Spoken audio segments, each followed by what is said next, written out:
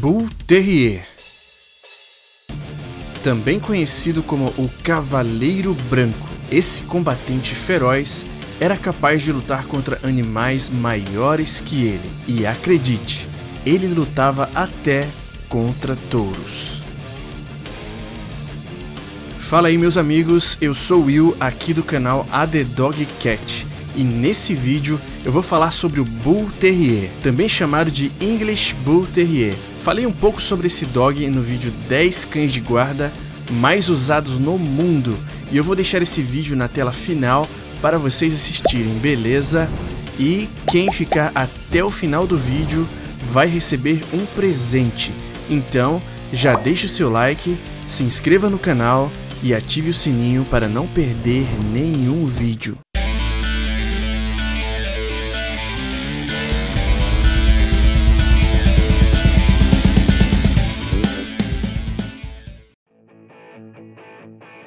Existem duas versões desse dog, o Bull Terrier Standard e o Bull Terrier Miniatura. Eles têm uma aparência única e inconfundível. O tamanho do Bull Terrier Miniatura é consideravelmente inferior ao do Bull Terrier, medindo entre 30 a 35 centímetros. E tem como base a combinação entre o extinto English White Terrier, o Dálmata e o antigo Bulldog. Aí você me pergunta, mas Will, como é que pode o cachorro ter a mesma base e ter cachorros pequenos? Bom, é muito simples. Você já deve ter notado que em uma ninhada é, você vai ver que tem cachorros maiores e outros menores, e foi justamente o que aconteceu. Eles fizeram uma seleção. Os criadores pegaram aqueles menores cachorrinhos e foram separando. E daí tem, a gente tem esse cachorro menor, né, que é o Bull Terrier miniatura. Exemplares pequenos do Bull Terrier eram conhecidos desde o princípio do século XIX, mas perderam a popularidade antes da Primeira Guerra Mundial e foram removidos dos registros do Kennel Club da raça em 1918. Em 1938, uma recuperação da raça foi encabeçada pelo coronel Richard Glynn e um grupo de amigos entusiastas que fundaram o Miniature Bull Terrier Club. O padrão é o mesmo do Bull Terrier, com exceção do limite de altura. Os dogs dessa raça são fortes, enérgicos e estão sempre à procura de novas aventuras. Toda essa energia e condicionamento físico requer uma ocupação constante. Por isso, esse cachorro está sempre procurando alguma coisa para fazer. Ele não para. A bateria dele demora para descarregar. Isso significa que você que quer ter um Bull Terrier deverá utilizar jogos e atividades inovadoras constantemente. Esse cachorro vai adorar viver em uma casa com áreas livres e espaçosas. Mesmo assim, dá para você criar ele em apartamentos. Porém, você deverá usar essa energia a seu favor. Se você curte se exercitar, esse cachorro é para você. Aproveite isso e leve ele para caminhar com você, ou até mesmo correr, ou até mesmo jogar uma bolinha ou um disco para ele pegar. Os brinquedos devem ser de boa qualidade e resistentes, pois esse cachorro tem bastante dente e muita força para morder. Caso você trabalhe o dia todo e não tenha tempo para ficar com ele, existem creches para cães também, viu? Ou você pode também contratar um dog walker. E olha só, leva a sério isso que eu tô te falando, hein? Se tu não botar esse dog para se exercitar, a tua casa vai ficar assim quando você chegar, ó.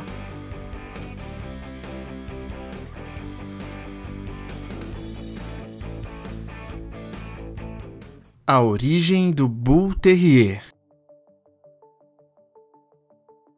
No começo do século XIX, a prática das rinhas entre bulldogs e outros animais era tão comum na Inglaterra que as pessoas que organizavam as brigas decidiram então desenvolver uma raça mais agressiva que o antigo bulldog. Foi feito um processo de seleção para chegar em um cachorro destemido capaz de enfrentar animais de grande porte como ursos, burros, leões e até touros, que fosse mais ágil e intolerante à dor. Na década de 1860, o criador e comerciante de animais James Hinks influenciado pelo sucesso dos Bull and Terrier, elaborou sua própria linha de cães para as classes mais ricas e cruzou o antigo Bulldog com um English White Terrier. Usando especificamente este Terrier, que é símbolo de beleza, procurando também estabelecer apenas a cor branca, e apresentou seu resultado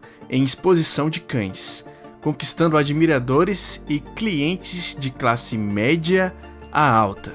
Depois, Hinks passou a fazer a inserção de outras raças nos cruzamentos, como o Whippet, o Dálmata e o Pointer espanhol, para agregar elegância, o Rogue Collie e o Borzoi para alongar o crânio. Logo, a nova raça de cão, produzido e conhecido primeiramente como The White Cavalier ou Cavaleiro Branco e logo conquistou as multidões por sua aparência exótica, com a característica cabeça alongada e com o formato oval, pelagem branca e orelhas comumente cortadas, longas e eretas, olhos triangulares. Um tempo depois, a raça ficou conhecida apenas como Bull Terrier. A raça serviu como um cão valente de companhia para os ingleses, de classe média até o Salão dos Nobres. E assim nasceu o Bull Terrier que a gente conhece hoje, através de diversos cruzamentos.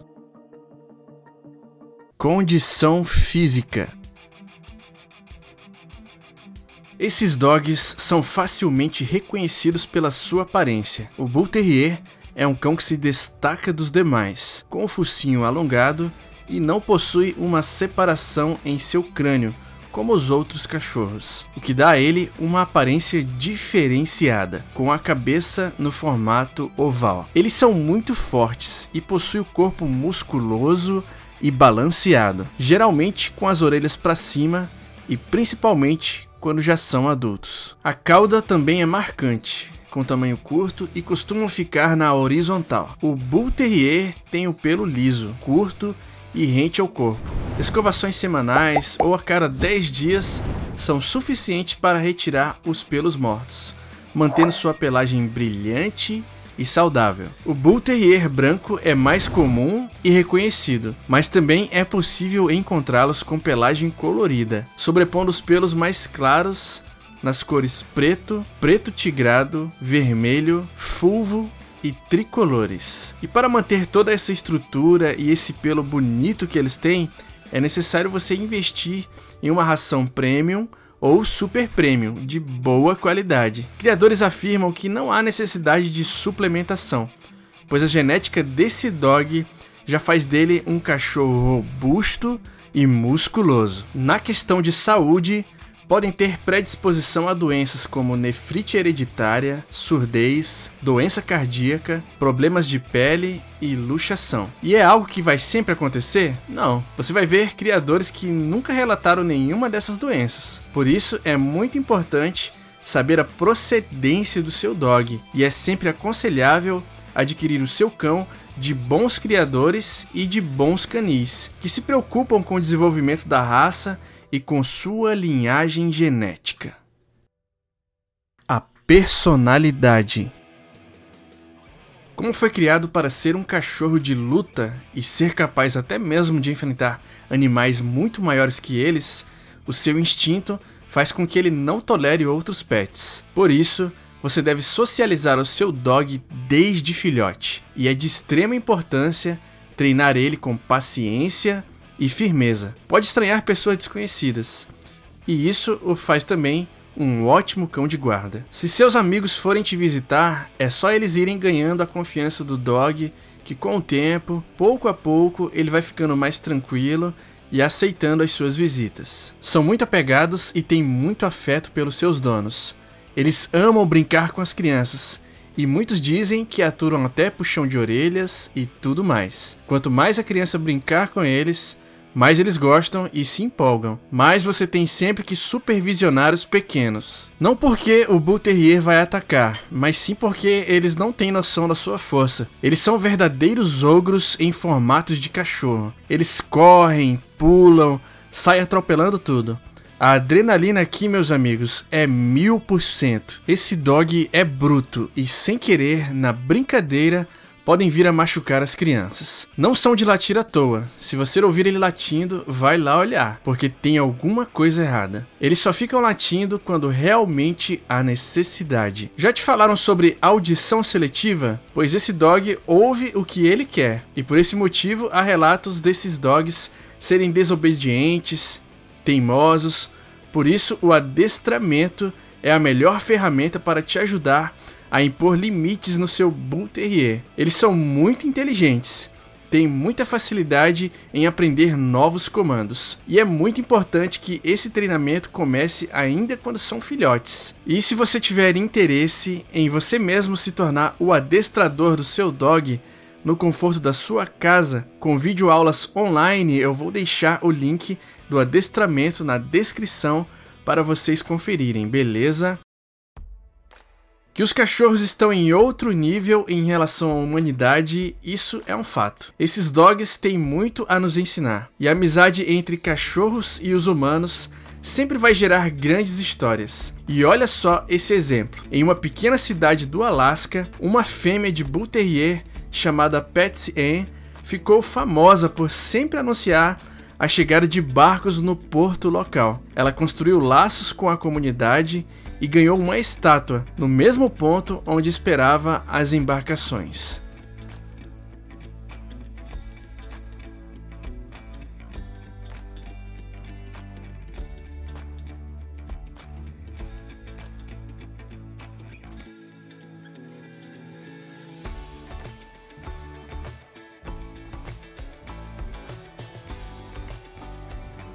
O reconhecimento.